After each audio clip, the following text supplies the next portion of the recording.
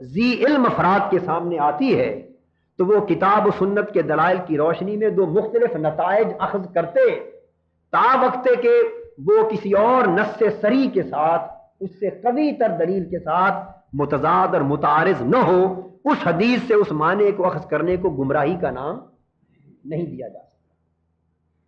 जब ये अलमैता और अदम के हवाले से मैंने दो बातें आपसे कह दी, यही आम और ख़ास और मैता और दम की जो बहस मैंने की है, इससे जिमन चलते चलते दियत का मसला भी इसी जिमन में कुछ अर्ज़ कर दें तफसील इन आइंदा मौका पर आएगी अगले मंगल को।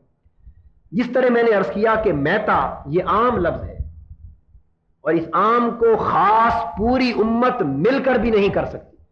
सारी उम्मत अगर मुजतवे हो जाए और वो कुरान के आम को खास करना चाहे या रसूल पाक सल्लल्लाहु वसल्लम की मुतवातिर और मशहूर सुन्नत के आम को खास करना चाहे तो हक नहीं पहुँचता, नहीं कर सकता। यह हक सिर्फ़ अल्लाह और अल्लाह के रसूल को। आप बात को समझ गए?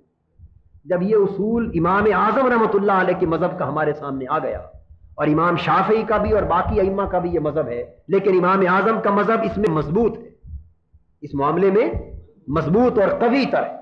जब यह मज़हब सामने आ गया तो अब हम देखते हैं वो आयत करीमा, जिसमें फरमाया गया, मन कातला मोमिन फतान फ़तहरीर राकाबतिन मोमिनतिन वदियतन मुसलमतन इला आहलही कुरान पाक ने फरमाया कि जो शख्स खतान किसी मोमिन को कत्ल कर दे तो उसकी सजा क्या है?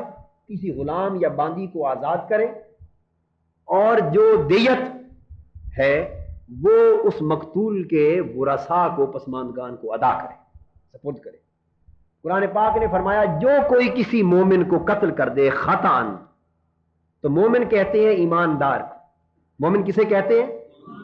और दुनिया में कोई मज़हब, कोई तबका अहले इल्म का और अहले फन का कोई पूरा मकतब फ़िक्र ऐसा आज तक नहीं हुआ। जिसने यह कहा हो कि मोमिन सिर्फ़ मर्द होता है, औरत नहीं होती। ईमानदार, बताइए क्या सिर्फ़ मर्द ईमानदार होता है या औरत भी होती? कुरान पाक में फरमाया, जो कोई नेक अमल करे, खा वो मर्द हो या औरत, बशर्ते के हो मोमिन, उसको नेक अमल की जजा दी जाएगी।